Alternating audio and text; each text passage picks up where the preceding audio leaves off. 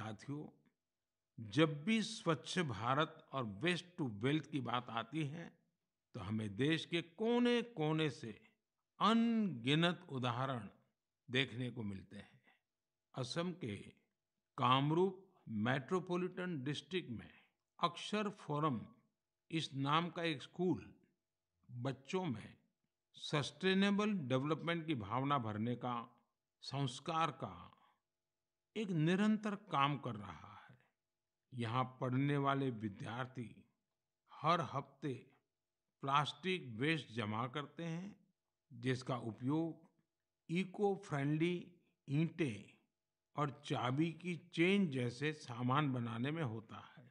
यहाँ स्टूडेंट्स को रिसाइक्लिंग और प्लास्टिक वास्ते से प्रोडक्ट बनाना भी सिखाया जाता है।